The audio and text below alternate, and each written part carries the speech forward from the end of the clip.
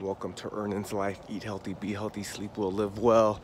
I'm charging a car, so as I charge the car, I thought I would share some information on my Ironman training, my powerlifting, and my journey on being the strongest triathlete in the world. Okay, look, lifting heavy, heavy weights, powerlifting, and just taxing the body with so much activities like running, biking, and swimming, you're bound to come into injury prone territory. Injury prone territory. Now, I've had my fair share of injuries, but I've always recovered because I take the proper preca precautions. You have to stretch. You have to stretch. You have to go to the sauna to sweat out the toxins. Okay?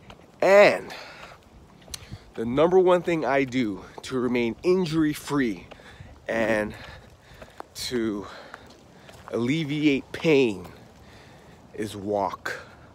Walking is very low impact, very low impact to the body, you burn fat, keep muscle. You will, you will burn fat and you will keep muscle when you walk.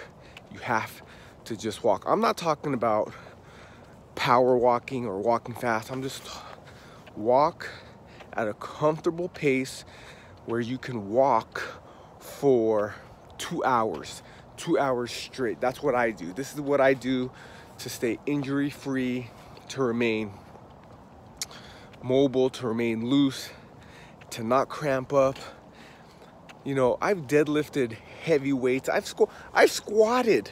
I've held more than 700 pounds on my back. I'm not even 200 pounds and I'm doing this.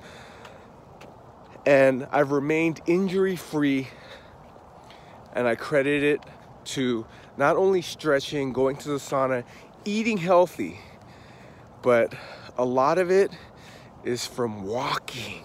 Just the simple act of walking five miles a day. You know, that's what's recommended, by the way. Health experts, people who study this, scientists, they've all reported that walking five miles a day, which is the equivalent of about 10,000 steps, 10,000 steps a day is where you need to be to operate at your optimal health ability to op to operate at your peak performance capabilities. You have to walk around 10,000 steps a day. That's a lot because we live in a sedentary lifestyle. When people go to work they're able to just sit down all day. I tell this to my mailman every chance I get. I say, hey man, you're getting paid to exercise. Not a lot of people get paid to exercise. Let me say that again. Not a lot of people get paid to exercise. But my mailman, he delivers my mail to the door here in Southern California. And he's walking all day. He tells me he gets seven miles a day sometimes. Man, but I remember when I was a assignment desk editor in Fresno, California. The assignment desk editor is someone who just takes the phone calls in a news station and they gather information and they tell the reporter and cameraman where to go. I remember I was able to sit down for eight hours. And then on Fridays, they would bring donuts. If you sit down for eight hours at work the whole day and you eat donuts, yeah, you're gonna get a big butt. When I was working in Montana as a news reporter, all the secretaries there who sat down all day had big butts. Look, I'm not saying there's anything wrong with big butts. I'm not saying that. What I'm saying is if you don't want a big butt, if you don't want a big butt, a big stomach, big shoulders, big arms, you have to walk. You can't live a sedentary lifestyle. There have been a lot of article studies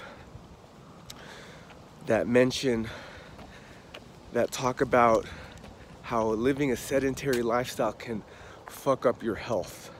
So don't live a sedentary lifestyle. Remember Newton's law. An object in motion tends to stay in motion. You gotta keep moving, man. You gotta keep walking and keep moving. We are made to walk. Look at our bodies. Look at our legs. They're designed for this. Walk, walk, walk, walk.